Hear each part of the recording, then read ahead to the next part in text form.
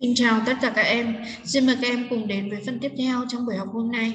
Chúng ta sẽ đến với phần Looking Back và phần Project. Chúng ta sẽ đi liền hai phần là phần ôn tập sau Unit 7 và phần Project là phần dự án các em nhé. Vocabulary từ vựng 1. Label exercise. Hãy uh, viết tên của các cái biển báo giao thông này. Ở đây chúng ta thấy là các cái biển báo giao thông thì um, thường là yêu cầu chúng ta được làm phép làm gì hoặc không được phép làm gì. Ở hình đầu tiên của chúng ta đó là uh, red light đúng không? Đèn đỏ biển báo đèn đỏ. Red light. Ở biển báo số 2 là school ahead trường học ở phía trước. School ahead. Tiếp theo là hospital ahead bệnh viện ở phía trước. Hospital ahead sau đó ở đây là cái phần số 4 là cái làn đường dành cho người đi xe đạp cycle lane number 5 number 5 no left turn no left turn ở đây có nghĩa là không được rẽ trái, no left no left turn tiếp theo là không được đi xe đạp, no cycling.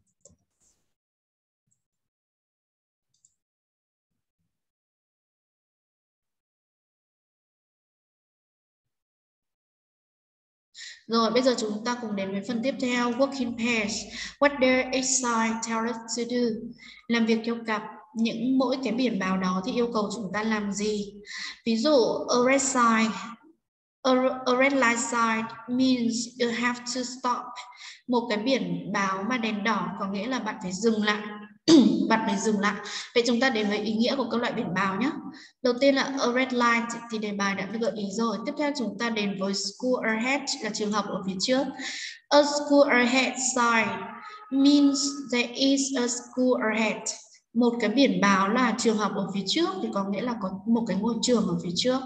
Tiếp theo, a hospital ahead ở bệnh viện ở phía trước a hospital ahead sign means there is a hospital ahead à, một biển báo nó có bệnh viện ở phía trước thì có nghĩa là sẽ có bệnh viện phía trước và điều đó đồng nghĩa với việc là trường học hay bệnh viện phía trước thì chúng ta sẽ phải đi chậm lại và đi cẩn thận. Tiếp theo number four cycle lane cycle lane means Uh, a cycle lane sign means the lane is for cyclists một cái biển báo mà làn đường dành cho người đi xe đạp ấy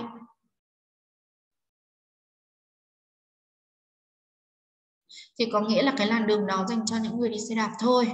Tiếp theo, biển báo number 5 no left turn. No left turn có nghĩa là không được rẽ trái. A no left turn sign means we must not turn left here. Một biển báo không được rẽ trái thì có nghĩa là chúng ta không được phép rẽ trái ở đây. Number six, no cycling. No cycling. Cycling có nghĩa là không được đạp xe, đạp xe đạp. A no cycling sign means we are not allowed to cycle. Một cái biển báo không được đạp xe đạp có nghĩa là chúng ta không được phép để đạp xe đạp. Rồi, bây giờ xin mời các em cùng đến với phần tiếp theo. Number two, fill in a gap with one word to complete the sentences. Điền vào mỗi chỗ trống một từ để hoàn thành các câu. Number one, a road is anyone who uses a road, such as a pedestrian, cyclist, or motorist. Một cái người gì đó đường là người mà sử dụng đường à, một cái sử dụng tham gia giao thông đấy. Ví dụ như là người đi bộ này người đi xe đạp hoặc người đi xe mô tô. Thì đây chúng ta là road users người sử dụng đường người tham gia giao thông. Number two does your dad his motorbike carefully? Bố của bạn có lái xe máy cẩn thận không? Ở đây chúng ta thiếu một động từ. Đi với lái xe thì chúng ta sẽ dùng là uh, right Tiếp theo number three, uh, is a person traveling in a car, bus, train but not driving. Một người nào đó là người đi lại bằng xe trong xe ô tô này, xe buýt này, tàu hỏa nhưng mà không phải là lái xe. Vậy đó chính là hành khách, passenger.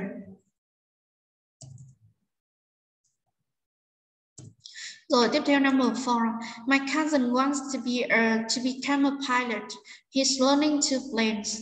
Họ hàng của tôi thì muốn trở thành một phi công. Vậy thì cậu ấy là đang học để lái máy bay. Chúng ta có động từ fly. Number five. We should be careful when the light turns yellow. Chúng ta nên cẩn thận khi mà à, đèn giao thông chuyển sang màu vàng. Vậy chúng ta có từ traffic. Rồi bây giờ xin mời các bạn cùng đến với phần grammar là phần ngữ pháp nhé. Number three, write complete sentences using these cues. Viết các cái câu hoàn thiện sử dụng những cái manh mối bên dưới. Ở đây chúng ta liên quan đến một cấu trúc mà chúng ta đã học hỏi và trả lời về khoảng cách đúng không nào? Để trả lời về khoảng cách chúng ta sẽ dùng it is. It is cộng khoảng cách over 100 km từ đâu địa điểm A đến địa điểm B chúng ta sẽ đi từ from trước địa điểm A from my hometown to Hồ Chí Minh City Rồi, tiếp theo number two, about 25 km here, my grandparents' house. Khoảng 25 cây số từ đây tới nhà của ông bà tôi. Vậy it is about 25 kilometer from here to my grandparents.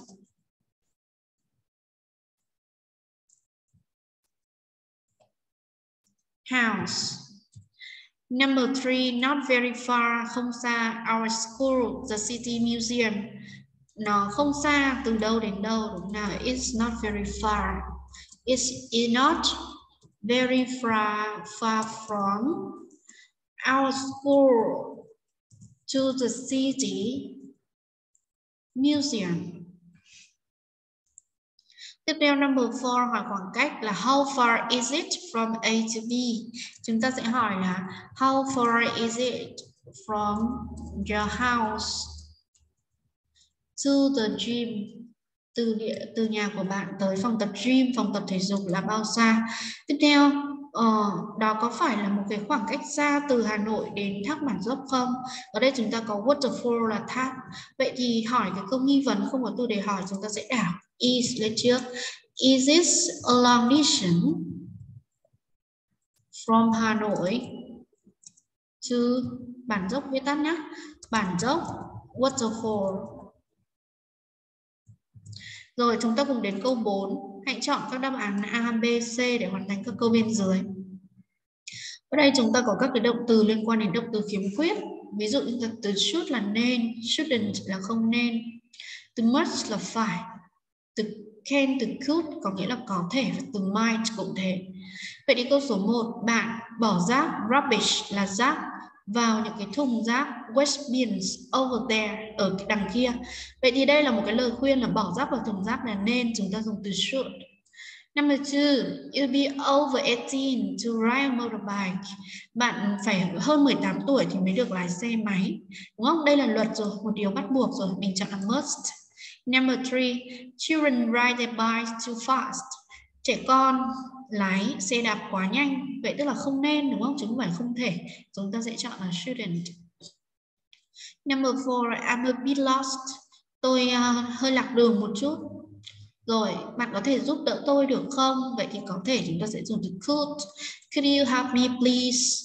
Number five you eat so many cookies too much sugar is bad for you. Bạn à, ăn rất là nhiều bánh cookies rất nhiều nhiều bánh quy đấy. Ăn quá nhiều đường thì không tốt cho bạn. To be bad for là không tốt cho bạn. Vậy thì chúng ta là không nên you shouldn't. Number six this is a big park đây là một cái công viên lớn. Bạn có thể chạy hoặc là đạp xe ở đây. Thì đây chúng ta lại you can you can hiện tại thôi còn could là quá khứ. Rồi bây giờ chúng ta chuyển đến phần project traffic signs dự án về những cái biển báo giao thông. Cái này các em sẽ làm việc theo nhóm nhé. Number one find for traffic signs in your neighborhood. Take pictures of them or draw them. Tìm bốn cái biển báo ở trong nơi em khu vực em sống. Hãy vẽ lại chúng hoặc là chụp ảnh lại. Number two cái phần này chúng ta tự làm nhé.